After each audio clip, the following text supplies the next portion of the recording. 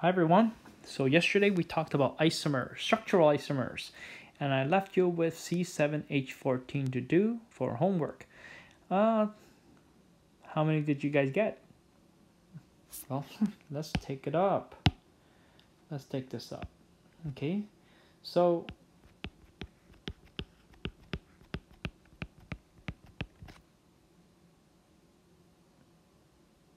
I have this one.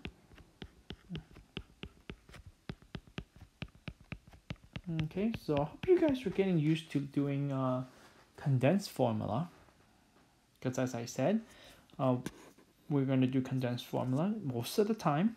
Okay, structural formula is just too much work and a lot of irrelevancy. So here it is, N-heptane. Okay, I'm sure all of you got that one. I hope. Did you guys get this one? Go to. Okay, six carbon long chain with one side group stemming from number two carbon. I call this 2 methyl heptane. Mm-hmm. Heptane. I meant hexane. Okay. Well, then I decided to move my one carbon side group to the number three position, like this one. And I have three methyl hexane. Okay. Do you think I'm going to move it to this position and have four methyl hexane? No, I, I wouldn't do that because I can just count backwards and that will still be 3-methylhexane. So I'm pretty much done with the hexane family, which means I can have two branch like this. CH, CH, CH2, CH3, like this one. Okay, I would call this 2, 3, there's two of them, so dimethyl pentane. Okay. You know what? I'm going to be lazy. I'm going to do this now. Okay. I guess you guys can fill in the H's. It will always make sense. So I have this, which I call 2 4 dimethyl pentane.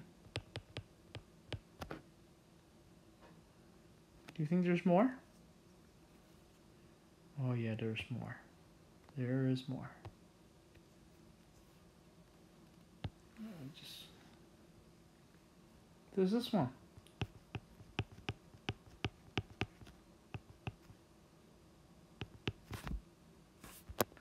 Two two dimethyl pentane. Okay, hope you guys have that one. Do you guys have the cross? This one? Three three dimethyl pentane.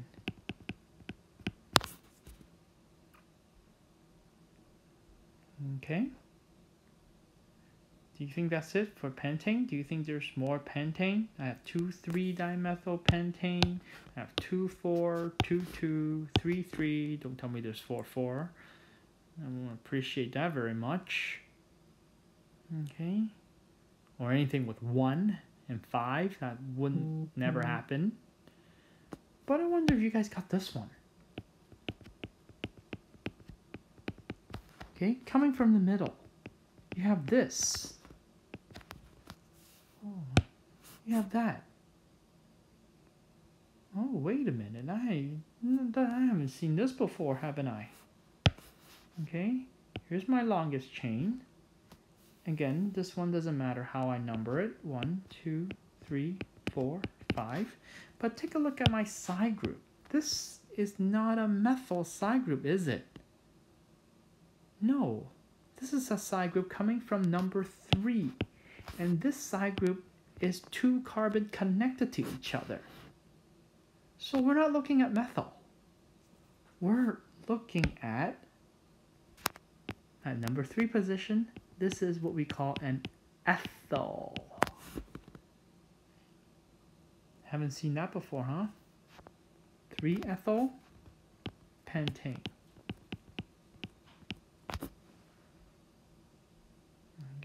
We're gonna look at some complicated ones today, and there's another system that we will have to know. Okay, so this is actually 3-ethyl pentane.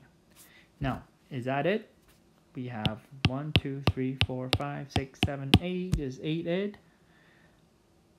No, I found one more. This is a four carbon substituent. I can have one coming up here, one going down here, and one going up here. Or down there. Doesn't matter. You guys got this one? This is your longest chain. One, two, three, four. I actually have three side group here. Okay. Now, bef before I do my one, two, three, four, can I do one, two, three, four? The answer is no. I wouldn't do that. I would go left to right. Because if you look at left to right, I will say two, two, three. Trimethyl. Two, two, three trimethyl. If you go this way, it'll be 233. What's better? 223 versus 233. Of course 223 is better. Okay? The lower the number or the lower combination of number, the better. That's how it works. We're going to do a lot of examples that will kind of illustrate that today.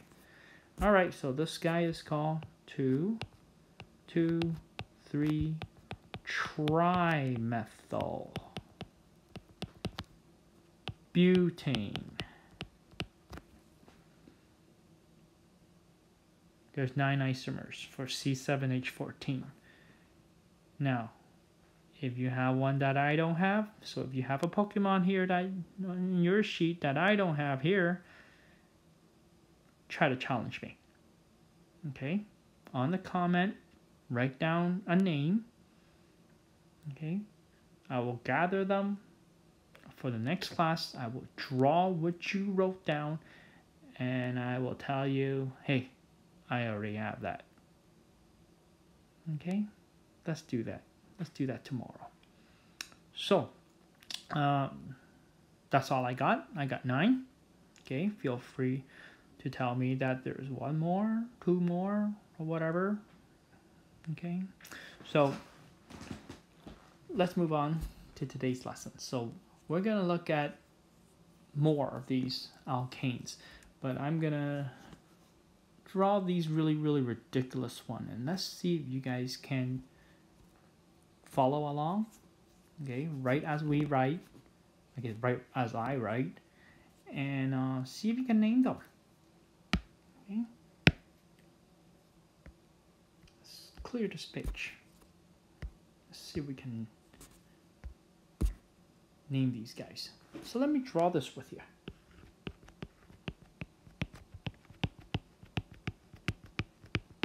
We're going to do three examples today. I went to the max. Let's put a side group here, a side group here, side group here, side group here.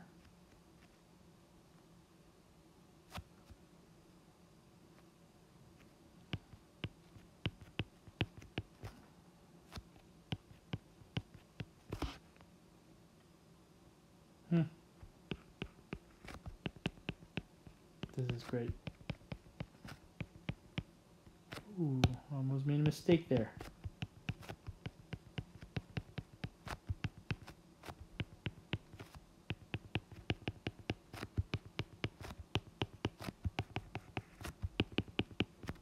So I have this ridiculous looking organic compound. can you name him? Well, let's look at the method of naming. Okay, first you want to find the longest carbon-carbon chain. No matter, that was easy. I found it right there. Okay, now you want to assign number. Are you going to go from left to right or right to left? Well, you want to look to see your lowest number or lowest combination of number in this case. Because if you go from left to right, you hit a side group at number 2. But if you go from right to left, you also hit a side group number 2. But, but, but, but, if that's the case, you look at the second side group. So left to right, you hit another side group number 3. So you have 2, 3, 2, 3. But if you go from right to left, check this out. 2, 2. So what's better? 2, 2 or 2, 3? Uh, of course, 2, 2. So how are you going to number this? Right to left. Wow, I did go to the maximum. Okay, which means this, this, this, this, this, and that are all side group. So, here's the rule.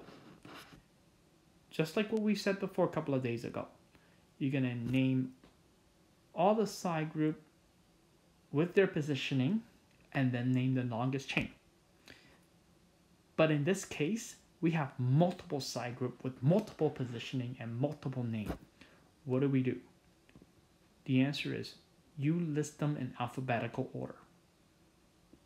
So, I have a methyl here. I have a methyl here. I have a methyl here. I have a methyl here. Okay. Alphabetical order, right? Go by M. What about this guy? Is he a methyl? No, he's a propyl. Alphabetical comparison, it'll be the P. How about this guy? He's an ethyl. He's some before, just on the last, mm, last page. He's an E. So how are we going to name this? Well, we're going to name this alphabetically. Okay. So it'll be E versus P versus M. So E comes first, so we will name this guy first. So the name for this ridiculous looking compound is going to be at position number six. There is an ethyl. What's after E? Is M. Ooh, but then there are four of these M. So you will say at position 2, 2, 8, and 9, there is 4 methyl group. Now, a lot of students tends to forget about the 4, the tetra, or the di, or the tri, whatever it may be. They forget that. They, they say 2289 methyl. Now, I can't say that. You have to say 2289 tetramethyl, telling readers that there's four methyl group here, and they're in position 2, 2, 8, and 9. Okay? Then, courses P. At position number 5, there is a propyl group. Okay, I think I took care of all the side group. Now let's name the longest chain. The longest chain is a 10 carbon long chain. So that will be decane. So this compound, which I don't think it exists in the real world anyway, is called 6-ethyl 2289 tetramethyl 5-propyl decane. Try to say that five times fast. No, I'm only kidding. Don't do that. Anyway, let's do another one. That's one of the three that I'm gonna uh, have for you. Let's clear this page. Let's do another one. Okay. Maybe I'll do this one. I'll draw it. Pause. You guys pause and see you guys can get the same answer that we're gonna get together. Okay. So let's draw this.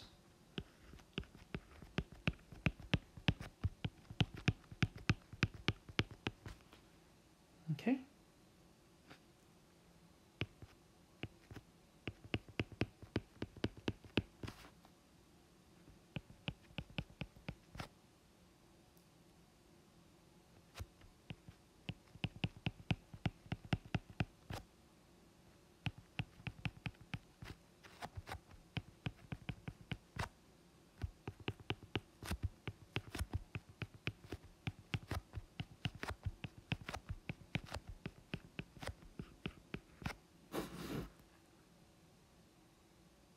Okay, here it is.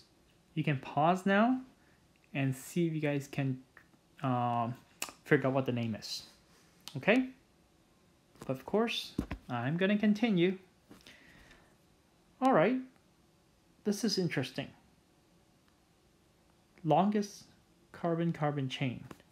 I hope you didn't say this. I hope you didn't say that. Okay, this is not the longest carbon-carbon chain. I can find something longer. Nobody said it has to be straight. You just have to make sure that carbon connected to carbon connected to carbon. So therefore, I have this. Ooh, look at that. This is my longest carbon-carbon chain. And this longest carbon-carbon chain is 10 because if you were to do it straight, it would just be 9. That wouldn't make any sense. All right? So, hopefully uh, you didn't get tricked. But part 2. How am I going to number this? Left to right or right to left? Well, it seems like I will hit side group at number 3 if I were to go that way. I would hit side group also at number 3 if I hit that way. Okay, alright. But what about the second side group? I would say one, two, three. I wouldn't hit my second side group until 5. But if I were to go this way, I will hit my second side group at 4. Hey, 3, 4 is much better than 3, 5. So my numbering is going to be from left to right. Like this. Okay? Because I want my side group to inherit the lower combination of numbers. All right let's name this. So here's side group side group side group side group side group. Don't forget about this one Okay. Uh, ethyl first because E comes before M. So it's at number four position I have for ethyl. And then I have three, five, six, eight. Another one of these tetramethyl. And decane. Okay. Hopefully you got this. Uh, anything else would be wrong. Okay. Let's do one more. This one I personally like because this brings a little dilemma.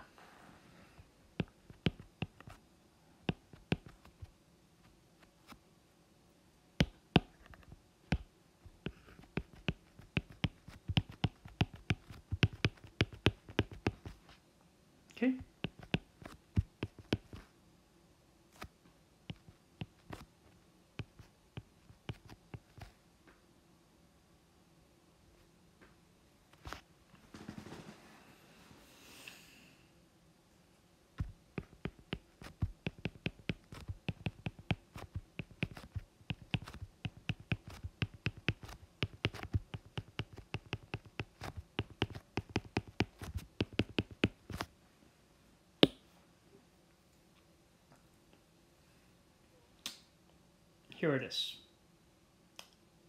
Can you find where the longest chain is going to be? This one is simple. I did not trick you or anything. It's going to be here. This is your longest chain. I might as well just write it in. This is your longest chain. Big problem here. Left to right or right to left.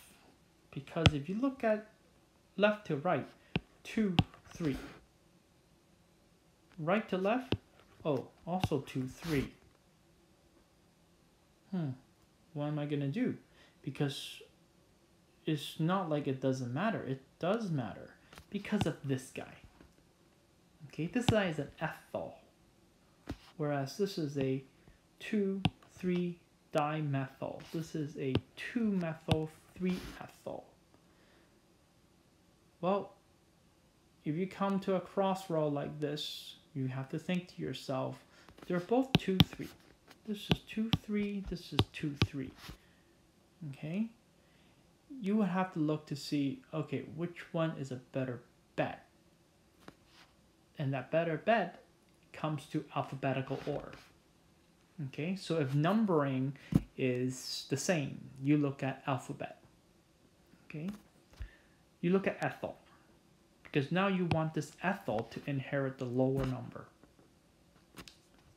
Going from right to left is 3. Going from left to right, you wouldn't get there until 6. So the answer, of course, is this. Okay? So sometimes you get these really tricky ones like this one asking you or thinking to yourself, oh my goodness, should I go left to right or right to left because the numbering is the same. But this ethyl is really killing me. Well, no, it's not really killing you. If the number is the same going from left to right or right to left, you look at alphabetical order. You want the one with the lower alphabet to inherit the lower number. Okay, just something to remember. So for this, you're looking at 3 ethyl, 2, 8, 8, 2, 6, 7, trimethyl ah, octane. Okay. So hopefully you guys are comfortable with this. Uh, let me give you one to do for homework.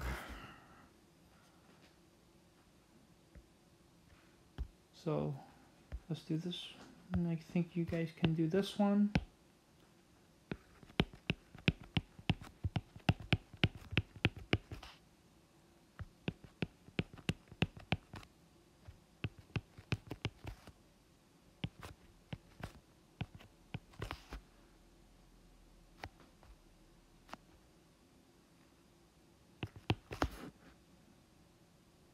I think that's enough punishment for you.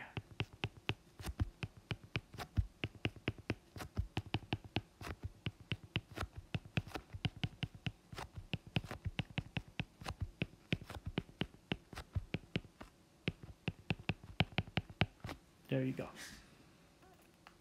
I want you to name this.